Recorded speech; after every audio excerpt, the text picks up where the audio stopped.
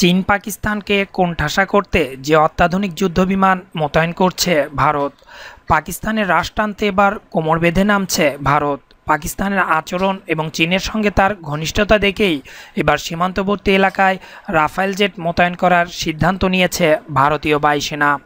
পাকিস্তান এবং চীনের দিক থেকে আসা কোনো রকম বিপদের সঙ্গে মোকাবেলা করতে সক্ষম এই রাফায়েল যুদ্ধবিমান।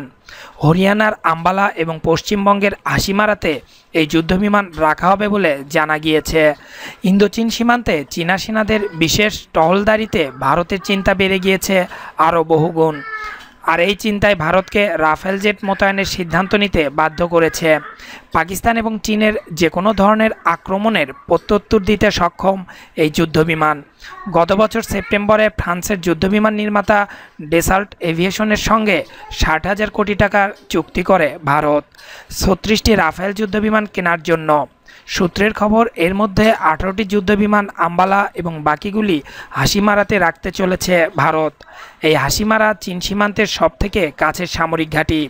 প্রসঙ্গত, এর আগে উত্তরপ্রদেশের সরসাবাতে এই যুদ্ধবিমানগুলি মোতায়েন করার কথা বলা হয়েছিল। কিন্তু জমি না পাওয়ার কারণে এই সিদ্ধান্তে বদল আসে।